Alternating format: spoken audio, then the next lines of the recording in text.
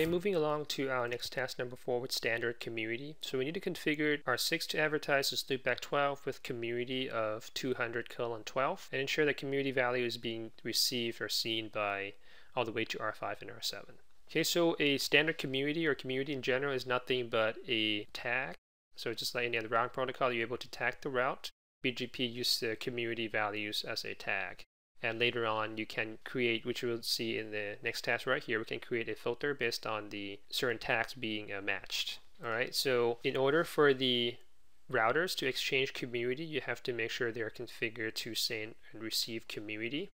So let's start uh, configuration on router 1 by default the community is being displayed as a long integer. If you want this to be displayed in this format then you have to enable BGP new format. Otherwise, it's just going to show up as an integer value.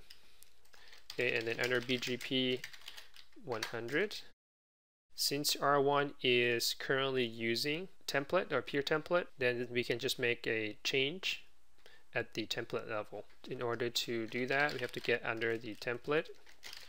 Well, just to refresh your memory as far as what we have right here. As you can see, we have the peer policy template and peer session template for the send community that is categorized as the peer policy template. So you have to copy paste and then do a send community right here. Okay, if you press enter by default it's just saying their standard community. If you want it to say both standard and extended then you obviously have to specify both or extended just for the extended community only and that's usually used as part of the MPLS uh, VPN where the extended community value is the route target.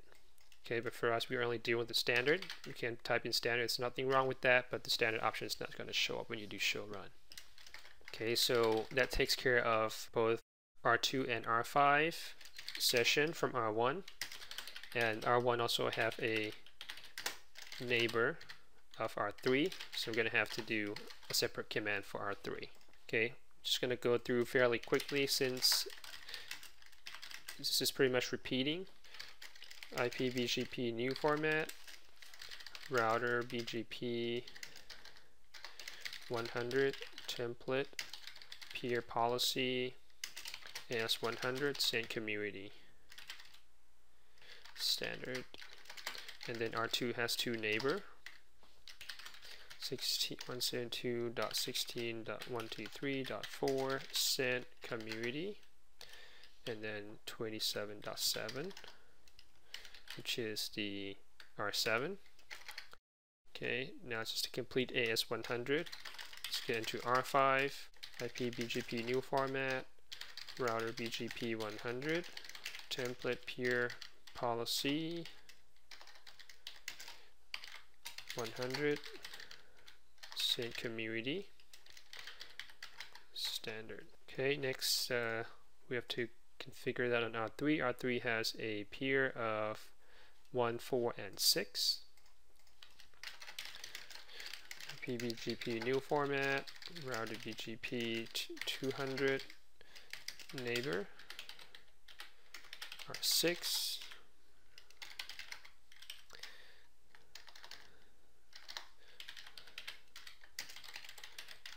and then R1, and then R4. Okay, now we have R6 to configure. New format, router BGP 200, and R6 is the neighbor of R3 and R4, R3 using its loopback, and then R4. Okay, and then on R4 R4 has the peer of 3 and 6 as part of the peer group and then R2 okay so R4 router uh, IP BGP new format router BGP 300 neighbor using peer group call AS200 with send community. So that takes care of both R3 and R6 and then 16.123.2 send community Okay, now our final router that we need to enable that on is router 7, uh, IPBGP, new format, router BGP 65123, and remember we have our R7 placed under a VRF, so we need to get under the VRF BGP and then 27.2 send community. Alright. So now that we have enabled all arounds for the routers to be able to exchange community values, now we have to configure R6 to advertise loopback 12 with the community of 212.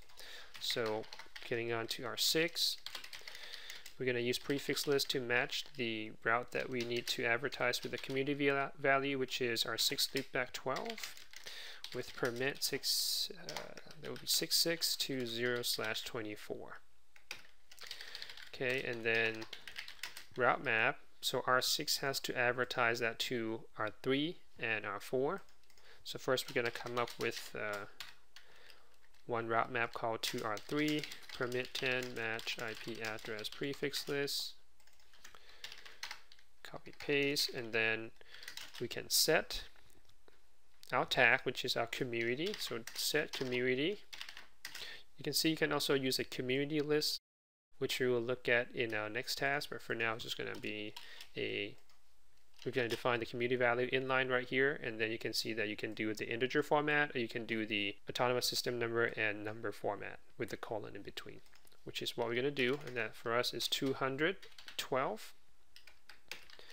And then don't forget to permit everything else.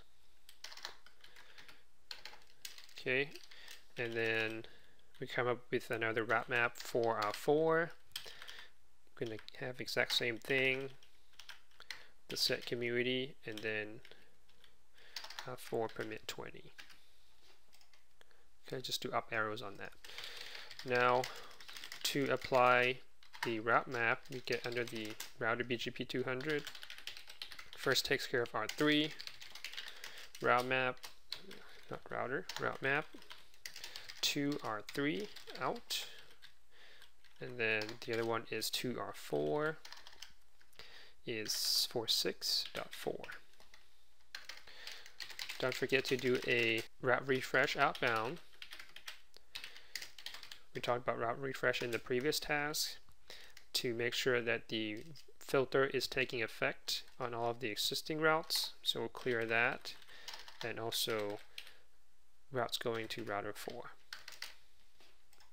Okay, you have to give it a second and then we can hop if everything works correctly the routes will be tagged or with the community value and it should be seen by R5 and R7 so if we hop to R5 and then show IPBGP 6620 you can see right here the community value appears on the route okay 212 and let's confirm on the R7 as well. 66220.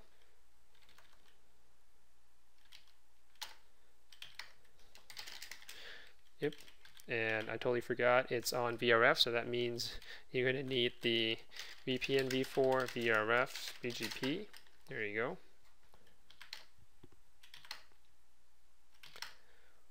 and looks like that guy is not seeing it so let's double check that on R2 and obviously R2 sees that but somehow R7 is not seeing it so let's make sure it's not just the uh, make sure we have that configured correctly so let's show run yep and I can see it right here so not too sure why it's not coming in quite yet. Let's make sure that R2 has that configured too for send community.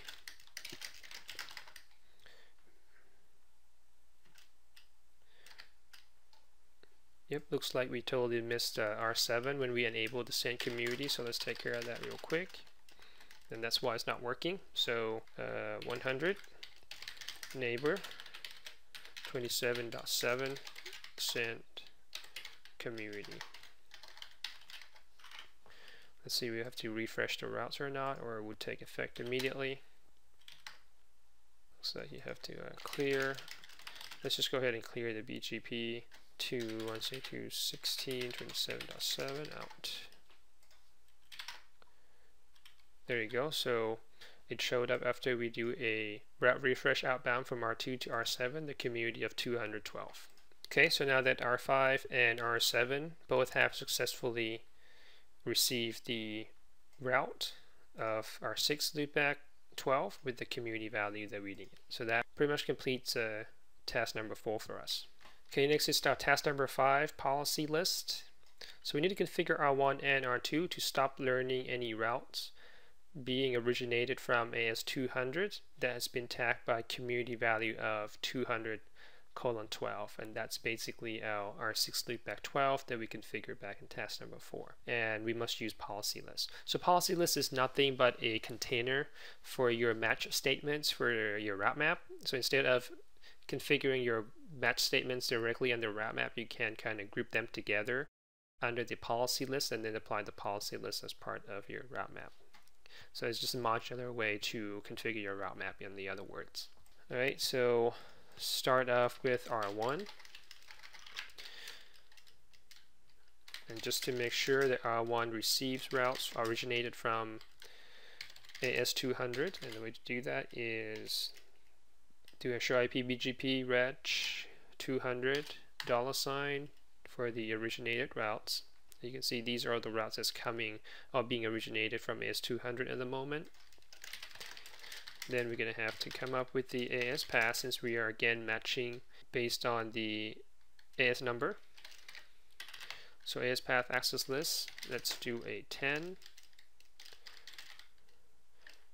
uh, permit and we say anything that's originated from AS200 so the way to write that or match that in regex is underscore 200 dollar sign Okay, and the other match condition that we need is to match the community of 212 and we can do that similarly to ASPath by using community list.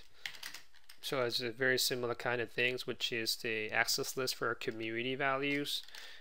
You can do community list, you can do expanded so you can give it the name instead of the number for the community list or you can do a standard. So I'm just going to do a basic community list number 10. Again, we're dealing with permit or deny, so we're going to permit community number. In other words, we are matching it 212. Okay, now we've got our two components to construct our match statements. So we're going to go under IP policy list. We're going to call it block and then permit.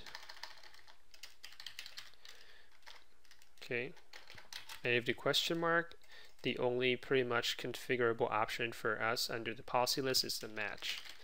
If you do match and question mark, these are pretty much the same parameter that you can, or attribute that you can perform matching on under the route map.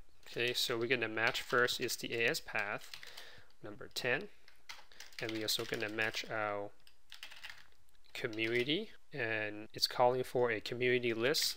Since we already built that, with the number 10, we're going to do match community 10. Okay, now that we have our policy list, we can utilize that under the route map. So we're going to create a route map called from R3. And we're going to deny whatever is being matched by policy list, which is our gold. So match policy list block. Okay, so essentially uh, what we accomplish with a single match policy list command is we're matching both of the ASPath 10 and community 10. Okay, and again, don't forget to permit everything else. Now to apply that, it's just like any other route map. So neighbor 172.16.123.3, route map from R3 in, and then clear IPBGP, route refresh inbound, then you can do show IPBGP regex one more time.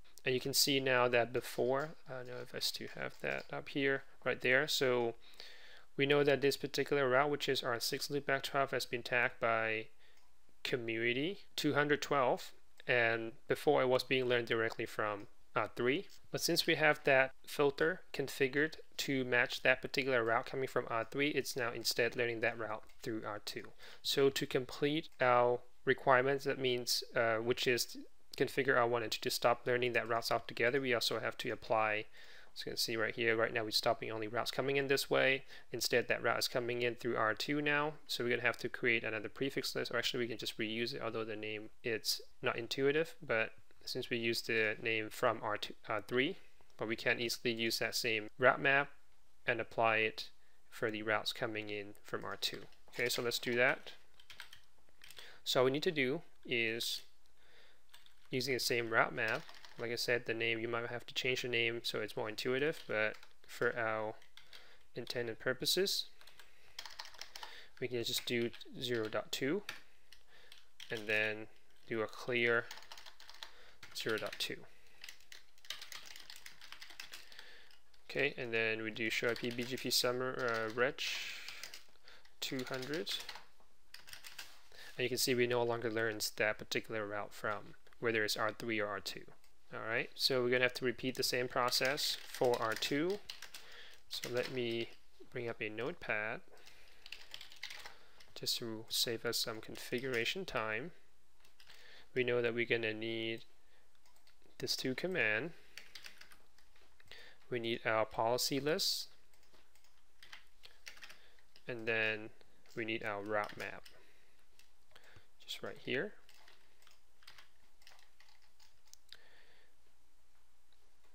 And then we can just configure the filter ourselves. Okay, so got that, got that. This time R2 is going to be from R4, although we're going to use that from the route from R1 as well. And then router BGP 100. Neighbor is 16.123.4. Route map from R4 in. We're just going to use that same one although we should no longer be learning that routes from R1, but just to protect ourselves and make sure that never happens. You can do that. Oh, actually, it says zero. Go copy. Uh, that's going to be on R2. Obviously on R2, if you do a show IP BGP before we apply that command, 200 dollar sign, which is we're still learning that routes 6620 from R4. Let me copy that, paste, do clear IPBGP, refresh inbound from R4. And then let's take another look at the routes being originated from 200. You can see that 6620 route slash 24 is no longer there since it's being blocked by our route map. Okay, so that's how you use the policy list and that completes our task number five.